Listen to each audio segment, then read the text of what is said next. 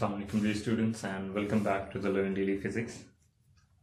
तो as we have discussed earlier, हमने जो हम बात कर रहे थे, हमने बोहर एटॉमिक मॉडल के ड्रॉबैक्स को पढ़ा, फिर हमने बात की कि क्यों बोहर एटॉमिक मॉडल जो सा वो कुछ किस किस चीज़ को बोहर एटॉमिक मॉडल डिस्क्राइब नहीं कर सकता, और समरफेल्ड मॉडल किस तरह फिर बोहर मॉडल को आगे एक्सटेंड करके उसकी वो वो चीज़ें, जैसे कि सब एनर्जी लेवल्स हैं, उनको किस तरह से वो डिस्क्राइब करता है तो हमने प्रीवियसली इंट्रोडक्शन हमने समरफेल्ड मॉडल का पढ़ा। आज उसी को आगे लेके चलते हैं, मैंने उसके दो जो पॉस्टुलेट्स प्रीवियस लेक्चर के अंदर बताए, वो दो मैंने यहाँ पे लिख रखे हैं पहले से, ताकि मैं उन्हीं को आगे प्रोसीड कर सकूँ। तो चलते हैं उन्हीं लेक्चर के प्रीवियस लेक्चर के दो पॉस्टुलेट्स की तरफ़। तो ये समझ लें कि आपके पास जो दो मेन इक्वेशंस हैं, जैसे बोहर एटॉमिक मॉडल के अंदर L is equal to M V R और हम सेंट्रीबिटल फोर्स को ज़्यादातर इस्तेमाल करते थे। तो ये जो दो इक्वेशंस हैं, ये भी समझें मोस्ट इंपॉर्टेंट इक्वेशन जो फ़र्स्ट इक्वेशंस दो आपके जहन में होनी चाहिए Sommerfeld atomic Sommerfeld atomic model को समझने के लिए या याद रखने के लिए या उसको पेपर में लिखने के लिए तो वो ये दो इक्वेशंस हैं। अगर आपको ये दो इक्वेशंस याद हैं तो आपको आगाज़ याद है कि where you have to start from तो चलते हैं डेरिवेशन की तरफ़। तो यहाँ पे दो, मैंने बताया आपको दो चीज़ें थी। बोहर मॉडल के अंदर क्या था कि एक सिर्फ़ उसका ऑर्बिटल चेंज था कि theta is only changing while in Sommerfeld model Sommerfeld model के अंदर क्या था कि आपके पास दो डिग्रीज ऑफ़ फ्रीडम थी। एक तो रेडियल आपके पास चेंज था, क्योंकि इलिप्टिकल इलिप्टिकल मॉडल आप इसको कह सकते हैं, या इसमें जो शेप बनती है, वो इलिप्टिकल शेप बनती है। तो लिप्स के अंदर, मैंने प्रीवियस लेक्चर के अंदर बताया कि आपके पास रेडियस भी चेंज होता है, और साथ ही साथ आपके पास क्या होता है, जो उसका एंगल है, वो भी चेंज होता है। तो इस दफ़ा हमारे पास दो मोमेंटम के केसेस हैं, आएँगे, ठीक है? We will have to momenta one will be the orbital momentum and the other will be the radial momentum so according to that we will have two velocities so one velocity will be the radial velocity and the other one will be angular velocity so radial velocity क्या है radial velocity हमारे पास simply v of r है जो कि dr by dt r dot के बराबर है you can put vector on it but no need to describe vector here so angular velocity क्या है? एंगुलर वेलोसिटी आप हमारे पास simply v is equal to R omega होती है। हमें पता है कि बेसिकली हम स्टार्ट से पढ़ चुके हैं कि v is equal to R omega वाली जोन सी हमारे पास वेलोसिटी होती है, वो एंगुलर वेलोसिटी होती है। तो यहाँ पे एक जो चीज़ मैंने ओमेगा को, ये एंगुलर डिस्प्लेसमेंट है, इसको हमने प्रीवियसली प्रीवियस लेक्चर के अंदर डिस्कस किया था।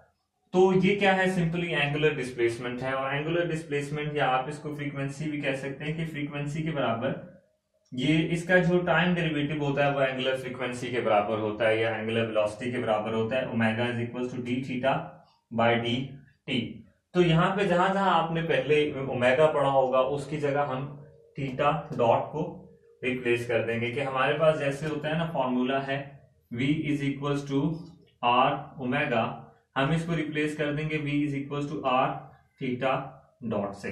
ठीक है कि इस ओमेगा को हम थीटा डॉट से इस फॉर्मूले के तहत रिप्लेस कर सकते हैं। ये मैंने लिखा भी है कि v is equal to R omega so v is equal to R theta dot तो ये तो हमारा हो गया बेसिक तो अब चलते हैं वेलोसिटीज हमने समझ ली क्या है।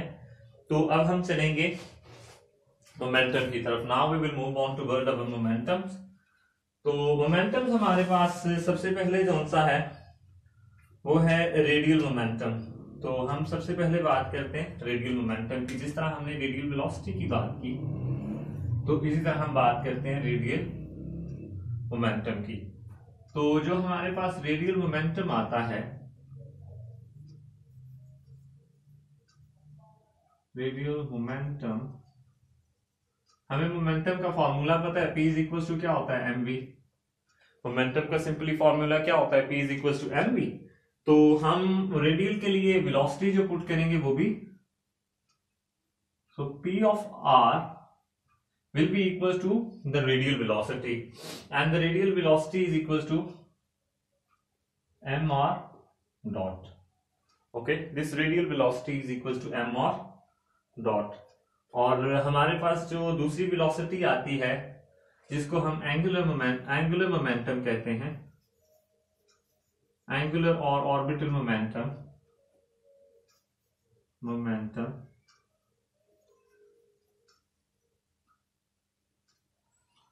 तो वो क्या आएगा हमारे पास? वो आएगा M P of theta will be equal to M into V of theta and अगर V of theta the value for the V of theta is M r theta dot. Is equals to m and the value for the velocity is r theta dot. M r no. The value for uh, angular momentum is we have this is our angular momentum. This is our angular momentum और angular momentum आप simply समझे, हमारे पास P of theta क्या है? L के बराबर है और एल एंगुलर मोमेंटम ये भी एंगुलर मोमेंटम है, इसको भी मैंने क्या लिखा है? एंगुलर मोमेंटम लिखा है और एल को भी हम क्या कहते हैं कि L is also an angular momentum तो एंगुलर मोमेंटम का जो हमारे पास बेसिक फॉर्मूला होता है, वो होता है आई इंटू ओमेगा आई क्या होता है? Moment of inertia and omega is angular frequency. You can say or the angular velocity. So uh, l will be this p theta is equals to angular तो जो कि i ओमेगा के बराबर होगा। तो यहाँ से हम क्या पुट करेंगे? इसको ये फॉर्मूला नहीं यहाँ पे हम लिखेंगे आई ओमेगा और हमें पता है आई किसके बराबर होता है? एम आर स्क्वेयर के। तो यहाँ ये जो मोमेंट ऑफ़ इनर्शिया होता है, ये एम आर स्क्वेयर के बराबर होता है। तो इसको मैं लिखूँगा एम आर स्क्वेयर और मैंने आपको बताया कि इस ओमेगा को हम सिंपली क्या है थीटा डॉट से रिप्लेस कर सकते हैं और जहाँ जहाँ ओमेगा हमने पुट करना है, उसकी जगह हमने थीटा डॉट पुट करना है, क्योंकि ये ओमेगा और थीटा डॉट एक दूसरे के बराबर ही होते हैं। तो यहाँ पे हम पुट करेंगे थीटा डॉट तो हमारे पास पी ऑफ़ थीटा की जो वैल्यू आ जाएगी, वो क्या आएगी? P of theta will be equals to M R square theta dot तो आप कह लें कि हमारे पास जो दो मेन इक्वेशंस आई हैं, अब तक की वो ये है ये है this is equation number one two and we name this as equation number three and this one as equation number four ठीक है? तो हमारे पास ये चार इक्वेशंस हमने अभी प्रूव आउट समझे, निकाल ली या हमने इन्हीं चार इक्वेशंस को पुट करना है और जो आज हम, आज के लेक्चर में काम कर सकेंगे, हमने करना क्या है? मैंने आपको बताया था कि बोहर अटोमिक मॉडल के अंदर सब इनर्जी लेवल्स का कोई भी कंसर्न नहीं है। बोर अटोमिक मॉडल जो सा है हमारा, वो सब इनर्जी लेवल्स के बारे में कोई भी बात नहीं करता, जबकि समरफर मॉडल के अंदर हमें वो सब एनर्जी लेवल्स के बारे में बताता है tells us how with same principal quantum number we can have different energies के एक एक सेम प्रिंसिपल क्वांटम के अंदर एनर्जीज लेवल कैसे डिस्ट्रीब्यूट होते हैं तो वो हमने समरफिल मॉडल के अंदर कैलकुलेट करना है फाइंड आउट करना है, और हम देखेंगे कि एन एजिमिथल क्वांटम नंबर क्या है, और रेडियल क्वांटम नंबर हमारे पास क्या चीज़ है। तो उसी चीज़ को हम डिस्कस करेंगे, हम फाइंड आउट करेंगे कि why K can not be equal to zero इसी लेक्चर के अंदर हम, इसमें या इसके नेक्स्ट वाले, ये थोड़ा सा लेंथी टॉपिक होगा, लेकिन you have to carry on with me तो हमने ये चार इक्वेशंस अभी फाइंड कर ली। अब हम क्या करते हैं कि हम एनर्जी ऑफ़ इलेक्ट्रॉन की बात करते हैं। Let's talk about energy of electron energy of electron okay तो अब बात करते हैं एनर्जी ऑफ़ इलेक्ट्रॉन की। तो एनर्जी ऑफ़ इलेक्ट्रॉन के अंदर जो हमारी पहली इक्वेशन आती है, वो आती है U is equal to K Q into Q prime into Q over R this is our coulomb potential we can say this potential is our coulomb potential and u is equals to k q1 q2 our r So mm, this is potential and force is equals to kq1 q2 over r square and as this is the potential so this will be the gradient of that and it will be r. So you can represent it with the negative sign but I am taking that negative sign in with charge. So it will be u is equals to this q prime is equals to charge of nucleus which is ze z is the number of proton and e is the charge on the proton which is equals the charge on the proton and the electron जो charge होता है proton के ऊपर और electron के ऊपर वो दोनों सेम होता है 1.6 वो they are same in magnitude 1.6 multiply ten power minus 19 coulomb और Q प्राइम को हम लिखते हैं Ze और जबकि हमारे पास सिंपली Q जो है, वो चार्ज ऑन इलेक्ट्रॉन है और हम कहते हैं कि ये मैग्नीट्यूड के अंदर नेगेटिव है। मैग्नीट्यूड दोनों का सेम होता है, लेकिन हम इसके जो नेगेटिव साइन जो है वो नेगेटिव इलेक्ट्रॉन पे नेगेटिव और प्रोटॉन पे पॉजिटिव होता है। तो उससे हमारे पास जब हम ये दो वैल्यूज़ पुट करते हैं, हम यहाँ कूलम वाले फॉर्मूले के अंदर तो हमारे पास जो चीज़ आती है, वो क्या आती है? वो आ जाती है हमारे पास की u is equal to K Z E square with minus over R तो ये हमारे पास क्या है? पोटेंशियल एनर्जी इलेक्ट्रॉन की हमने। अब हम बात करते हैं काइनेटिक एनर्जी की। इलेक्ट्रॉन के पास जो काइनेटिक एनर्जी है, वो क्या होती है? तो हमें पता है कि T is equal to half of M V square के बराबर होता है। तो अब यहाँ पे जो हमारे पास वेलोसिटी है, वो एक वेलोसिटी नहीं है। अब हमारे पास जो वेलोसिटीज हैं, वो दो हैं। वो कौन कौन सी वेलोसिटीज हैं? एक रेडियल वेलोसिटी है और एक एंगुलर वेलोसिटी है, सही? तो हम रेडियल और एंगुलर दोनों को पुट करते हैं यहाँ पे और हम कहते हैं कि t is equal to half of m into V R square plus V theta square क्योंकि हमारा अब जो अब जो हमारे पास वेलोसिटीज हैं, वो दो कंपोनेंट्स पे मुश्तमिल है। It consist of two components and now this v of r is equal to R dot square r dot square plus this V of theta is equal to R theta square so R square theta dot square so half of M so t will be equal to half of m r this is r dot square and uh,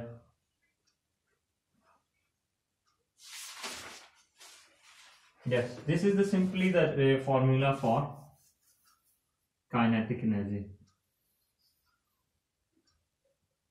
and this one is for potential energy तो अब तक हमने कुछ भी मुश्किल नहीं किया हम किसी भी मुश्किल स्टेप की तरफ़ या किसी भी मुश्किल आप कहें, हमने कोई भी मुश्किल बात अब तक नहीं की। We don't have any discussed any of the difficult things right now but now we are going to ठीक है, कि जब हम बात करेंगे पी ऑफ़ थीटा की तो वो तो हमारे पास सिंपल होगा। जब हम रेडियल कंपोनेंट के, इसके जब मोमेंटम रेडियल मोमेंटम को डिस्कस करेंगे तो वो थोड़ा सा ट्रिकियर होगा और मैं रेडियल जो है वो नेक्स्ट लेक्चर के अंदर स्टार्ट करूँगा. I will start that from the beginning और मैं बताऊँगा कि रेडियल कंपोनेंट को हम इलिप्टिकल इक्वेशंस के साथ कैसे रिलेट करते हैं और क्यों हमारे पास जो के होता है वो ज़ीरो नहीं होता. हम उस चीज़ को फाइंड आउट करेंगे. फिर हम सब एनर्जी लेवल्स अगला जो हमारा उससे टॉपिक होगा वो सब एनर्जी लेवल्स को फाइंड आउट करने का टॉपिक होगा. अच्छा टॉपिक को मैं कोशिश करता हूँ कि पार्ट बनाऊँ. कि बड़ा लेंथी टॉपिक होता है तो उसकी हम हर एक चीज़ को बेहतर समझें। तो इसी वजह से मैं इसको क्या करता हूँ कि पार्ट्स में डिस्क्राइब करता हूँ। हर इक्वेशन के साथ आपको समझाने की कोशिश करता हूँ कि वो इक्वेशन आपके जहन में बैठी रहे। नहीं तो क्या होगा कि आप, अगर मैं पढ़ाता जाऊँगा, आप लिखते जाएँगे तो इससे फिर क्या होगा कि वो आपकी चीज़ जहन में बैठेगी नहीं। और मैं इस बात को दोबारा से रिपीट नहीं करूँगा कि ताकि आपका टाइम ना जाया हो। तो ये हमारे पास सारी इक्वेशंस आ गई। अब मैं लेता हूँ इस इक्वेशन नंबर वन को और मैं सॉल्व करूँगा इक्वेशन नंबर वन को यहाँ पे। तो हमारे पास जो इक्वेशन नंबर वन है वो क्या थी कि from equation one from equation number one P of theta D theta is equal to K H okay ये हमारी इक्वेशन नंबर वन थी। तो अब हमने थीटा की लिमिट्स क्या है? थीटा की लिमिट्स होती हैं हमारे पास ज़ीरो से टू पाए तक। थीटा की जो लिमिट्स है वो है ज़ीरो से टू पाए तक। और पी ऑफ़ थीटा की जो हमने वैल्यू फाइंड की है, वो है M R square theta dot M R square theta dot तो इन वैल्यूज़ को हम पुट करते हैं। तो हमारे पास आता है zero two pi this is M R square M R square theta dot D theta K of X तो अब मैं आपसे पूछता हूँ एक ट्रिकियर सा सवाल, बहुत ट्रिकियर आप सोच रहे होंगे कितना ट्रिकी सवाल होगा। तो मैं आपसे पूछता हूँ कि यहाँ पे कांस्टेंट टर्म कौन कौन सी है? तो आप कहेंगे यहाँ पे थीटा है सात तो ये एम आर स्क्वेयर कौन सा है, ये कांस्टेंट है और हम इसको ऐसे लिखेंगे एम आर स्क्वेयर और ये थीटा डॉट को इस तरह करके D theta K H most of the students जो ये लेक्चर देख रहे हैं, वो समझेंगे कि इसको हमने ऐसे लिखना है, लेकिन ऐसे नहीं लिखना है। ये थीटा नहीं है थीटा डॉट है, ठीक है? थीटा एक अलग टर्म होती है, थीटा एक एंगल होता है, और थीटा डॉट क्या है, वो एंगुलर फ्रीक्वेंसी होती है, ठीक है?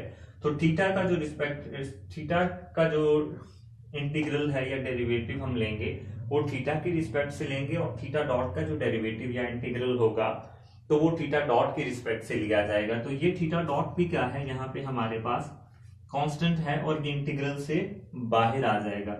तो यहाँ पे थीटा डॉट और ये ज़ीरो से टू पाए ठीक है? तो ये अब समझ में आ गया, ज़ीरो से टू पाए अब जब हम यहाँ पे इंटीग्रल अप्लाई होगा तो वो आ जाएगा आपके पास थीटा, उसकी लिमिट ज़ीरो से टू पाए आप पुट करेंगे तो वो सिर्फ़ ही टू पाए आपके पास रह जाएगा।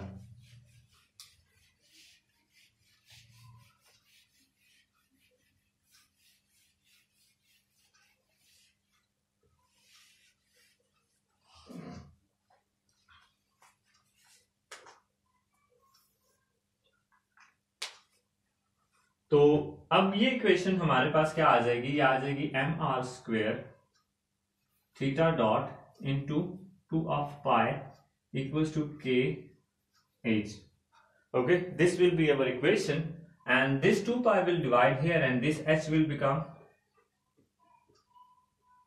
H over two pi H cut equal to H over two pi so this two pi is two pi को हम यहाँ पे डिवाइड करेंगे तो ये के एच कट हो जाएगा और यहाँ पे M R square theta dot तो हमारे पास फॉर्मूला जो हमने पुट किया था वो था v is equal to R theta dot v of r is equal to R theta dot तो हमारे पास uh, आप कहें तो आप पुट करते हैं अगर ये वैल्यू थीटा डॉट की तो theta dot will be equal to V over R so M V over R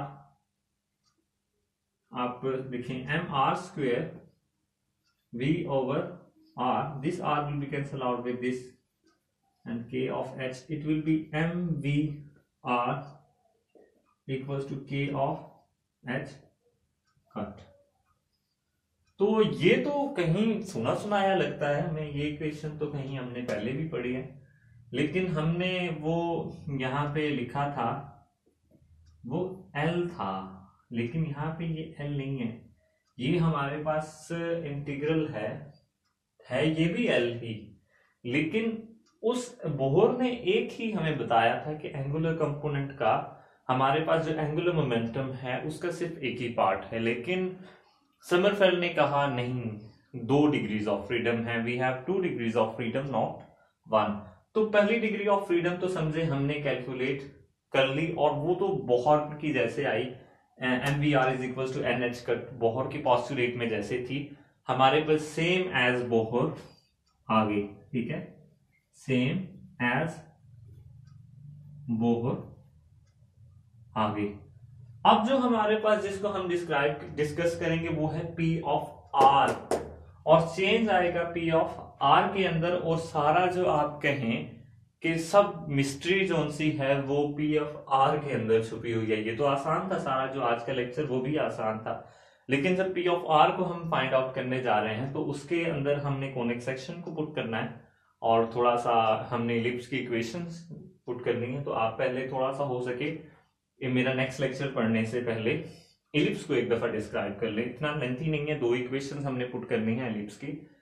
लेकिन फिर भी अगर आप पहले इलिप्स को पढ़ लेंगे तो आपको आगे फिर जो एनर्जीज की इक्वेशंस बनेगी या ग्राफ बनेगा, उनको भी समझने के लिए आसानी होगी। तो पहले थोड़ा सा इलिप्टिकल फॉर्म्स को आप पढ़ लें। तो तब तक के लिए इजाज़त दें मुझे। अस्सलाम वालेकुम एंड अगर आपको वीडियो अच्छी लगी तो इसको लाइक करें सब्सक्राइब करें चैनल को। और कोई भी अगर आपको इसके क्वेश्चन होता है कि आपको कोई चीज़ नहीं समझ आ रही तो आप कमेंट सेक्शन कमेंट सेक्शन में पूछें, उसके अलावा आप मुझे मेल करें। और अगर आपको कोई ज़्यादा इशू होता है तो you can have my WhatsApp number through my mail आप मुझे मेल करें, आप कहें, सर, मुझे आपका व्हाट्सएप नंबर चाहिए तो मैं आपको बिज़नेस अकाउंट भी वहाँ पे प्रोवाइड कर दूँगा। और अगर नोट्स चाहिए आपको तो मैं वो वहीं मेल के थ्रू या व्हाट्सएप के थ्रू आपके साथ शेयर कर लूँगा।